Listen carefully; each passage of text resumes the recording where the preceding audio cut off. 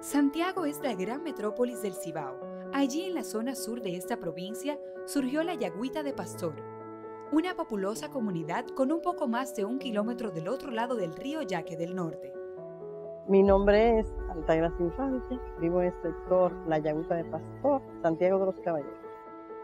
La Yagüita de Pastor, por su trayectoria histórica, es una comunidad como muy inquieta, nunca se mantiene estática ante los problemas. Inmediatamente trajeron el proyecto al sector, a la Yagüita. Todos nos preguntábamos, oye, pero ¿será verdad que se va a dar el proyecto?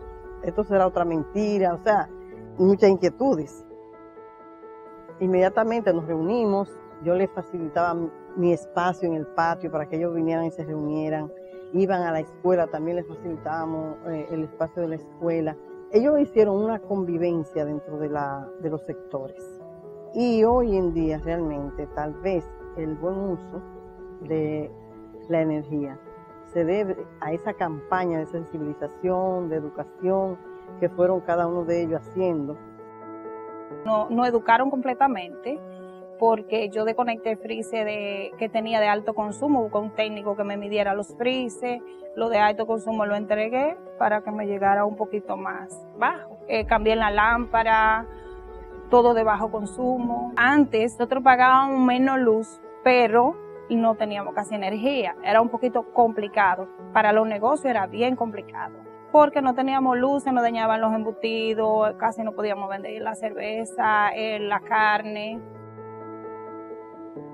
Bueno, el cambio de tú ir a una casa ahora, anteriormente era diferente cuando veíamos que no teníamos, que no tenía luz, la gente te esperaba. Bien, ya viene la gestión social, pero no tenemos servicio, no están hablando de algo que no tenemos. Y ahora las visitas son bastante gratificantes porque la gente dice, ah, sí, es verdad lo que nos decía, ahora estamos con 24 horas y sí vale la pena pagar lo que es el servicio por tener la comodidad. La gestión comercial involucra la contratación de los nuevos clientes, reintegración de los clientes con deudas y normalización de todos aquellos suministros que no tenían medida. Aproximadamente unos 4.500 clientes se normalizaron, de esos unos 700 se reintegraron y 2.200 se contrataron nuevos. En el proyecto de rehabilitación de redes se contempla la medición en altura, que es un nuevo sistema para que los clientes tengan mayor facilidad de ver su consumo en un aparato que se le entrega al cliente denominado display, donde pueden ver los kilos que llevan diario o mensual. Las noches en mi sector son muy bien, las calles están alumbradas, eh, podemos acostarnos sin sentir calor.